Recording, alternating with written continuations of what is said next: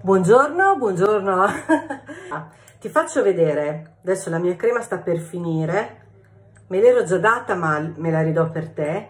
Questa è la quantità, guarda, non ne devi prendere di più, assolutamente. Questa qui è la quantità della crema che devi picchettare così, fai proprio, vedi, me ne è rimasta anche troppa e vado qua sotto, guarda, è pochissima, ma questa è la quantità giusta. La spatolina poi la puoi pulire anche perché così la, la sterilizziamo. Io la lavo, la lavo sotto l'acqua e poi la metto sopra la crema.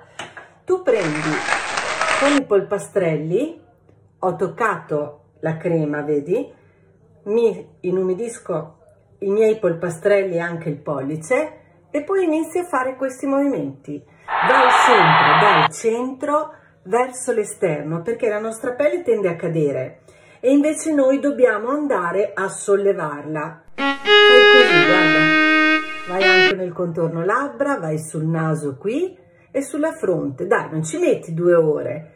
Qua io faccio così per distendere anche il discorso che col pollice vado lì e con questo qui vai a ripristinare la circolazione, la microcircolazione anche dove abbiamo la palpebra cadente quindi andiamo a aprire di più l'occhio.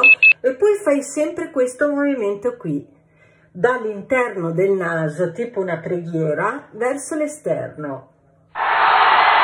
E nel collo vai dal basso verso l'alto con quel pochino di crema che hai messo basta, basta per tutta la tua giornata e per tutta la tua pelle. Più tu fai eh, un minuto, adesso è un minuto e 51 di questo movimento qui, proprio anche così, guarda Cri, apri tutte le mani, la tua crema va più a assorbirsi. Questo movimento lo fai sia col siero che con la crema perché vanno a, ad assorbirsi più in profondità. Se per caso le prime volte senti che è pesante, non avere paura perché la tua crema deve essere ricevuta dal tuo viso, quindi lui butta fuori tutto, continua, vai avanti. Magari all'inizio ne metti meno se senti che è un po' pesante e poi dopo metti la quantità che ti ho fatto vedere nella spatola. Sempre meglio poco prodotto perché aggiungere fai tempo.